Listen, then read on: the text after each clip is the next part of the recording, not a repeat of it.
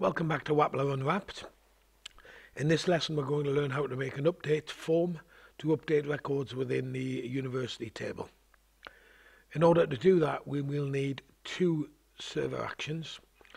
The first server action will retrieve the specific record from the table that we require and that will be linked to that ID field that we set within the bootstrap table and then the second query will obviously write that information back to the appropriate record um, to update it. So the first thing we need to do is create two server actions. First action we'll call uni by ID. Just drag that where I want it. And what that's going to do is retrieve the record that we require by the ID that's sent to it we need to check in globals that that get variable is in there. Now we just go straight down to steps and do our database connection. We should be getting quite familiar with that by now. Uh, we're going to use training and let's just save that. Now we've got to create the actual query itself. So back in the database actions, and this is a straightforward database query. We'll call it query by ID into the query builder. Let's select the university table. You'll see that there's a few more fields appeared within that table since uh, we last used it because these are fields that we'll be using in later videos. For the moment we'll stick with what we had before which is the basic information. So the conditions is the important part because the conditions is that that university ID, that unique key field within the university table must be equal to that get variable. And just as I normally do, I'm just going to stick a quick default in there because I just make sure that I actually get some data on the screen rather than working with blank forms. Let's, okay, let's save that.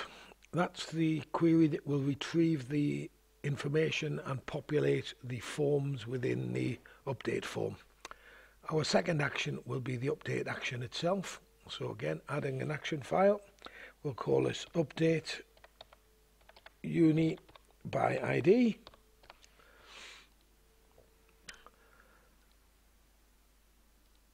straight into our steps database action and our database connection. Select training let's save that. And now let's create the database update query. So here we have add database update Just call it update by ID. Hit the update options. And it's our university table that we're going to be dealing with. Let's just get rid of those fields that we aren't going to use. So we see how these fields will be linked to the post values that are sent back from the form when we hit the submit button. And finally, the condition that set it automatically is that that uni ID, that unique key field, within a university table must be equal to the value that is posted back.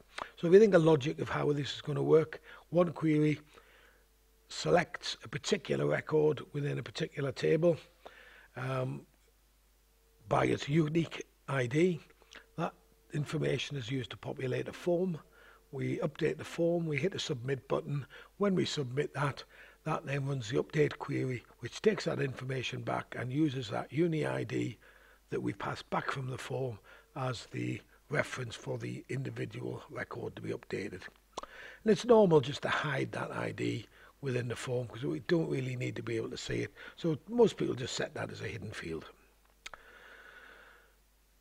So let's save that. Now we're ready to create the actual form. Now the form we need to ensure matches the name that we gave within this, remember? So we call it edit uni. So let's new file, save it straight away.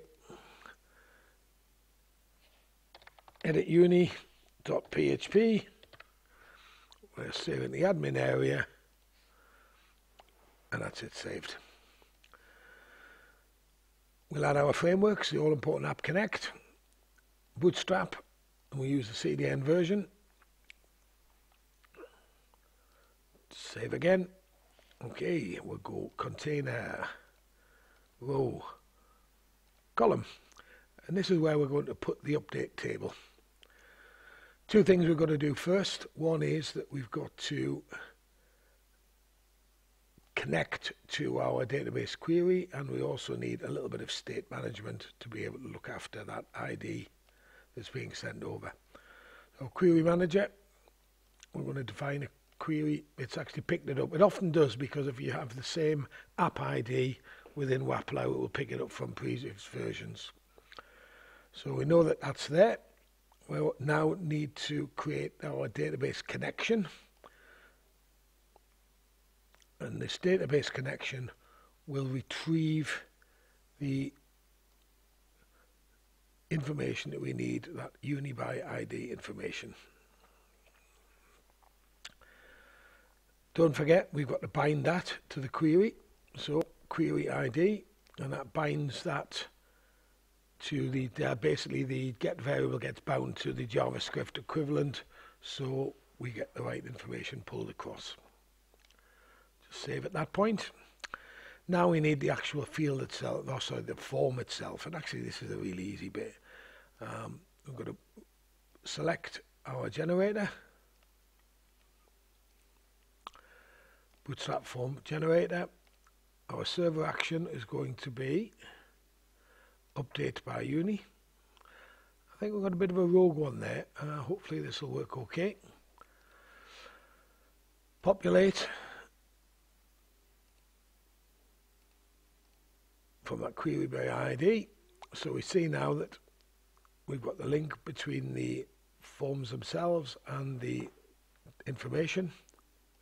We'll save that and there we are. We have a, a bootstrap table with all the information in, updated. And you notice it's defaulting to that record one that we invariably use. So what happens if we open that in the browser?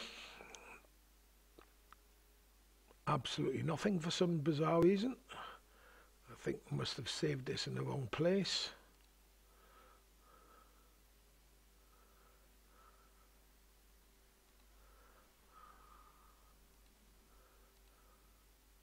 I'm not quite, oh, there we are. You notice I've actually put a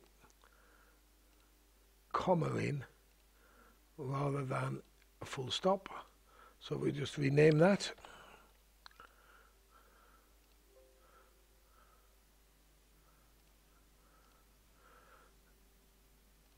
Open opening browser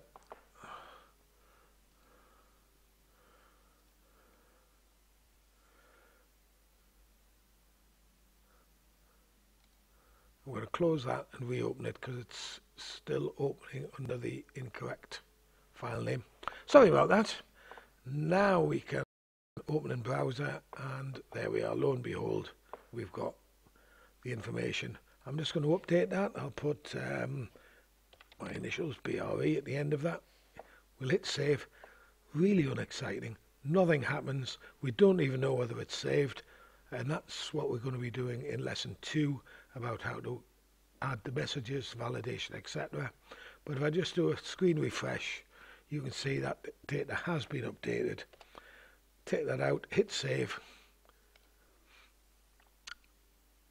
So if I just pop back into Wappler now, and let's go to university list open browser browser Arden University and you see that that's pulled the appropriate record by sending us a unique reference okay we're nine minutes now I'm just want to very quickly do something I want to add a little theme to my videos and that is adding a bit of fun to the page clever code is always great for a programmer but customers like a bit of glitz so all I'm going to do in this case is I'm going to add a bit of glitz to that save button.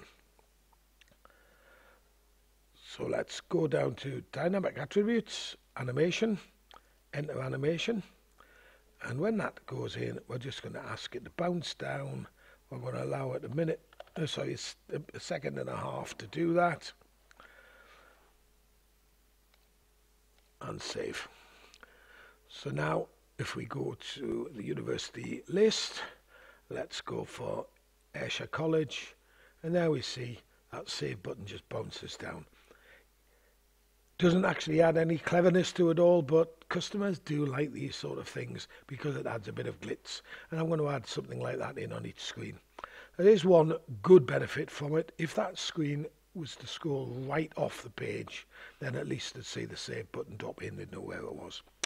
Anyway, talk long enough, we're over 10 minutes, so uh, please come back for uh, part two of this where we'll do the validation, etc. Uh, hope to see you soon. Goodbye.